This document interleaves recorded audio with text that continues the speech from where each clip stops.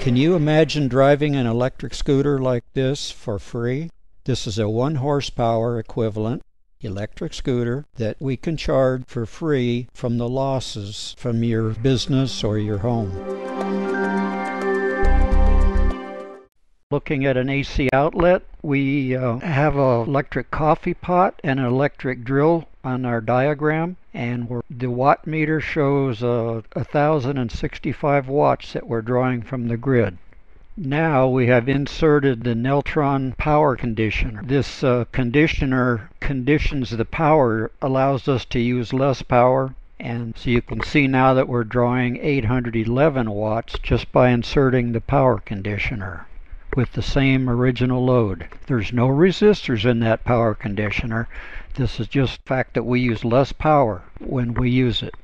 With that power that we're saving by using the conditioner, we are allowed to charge an electric motor scooter for free at, uh, at no cost, just from the savings.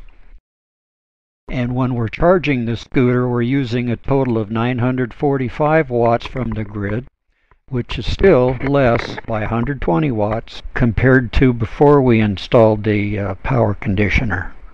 And of course, uh, originally the wattage was 1065. That leaves the 120 watts of a power savings. That, that power savings can either be returned back to the grid or you can play uh, a 32 inch plasma TV for free all this is at no additional charge to your power bill because you've already uh, would have paid for that power if you didn't have a Neltron power conditioner installed.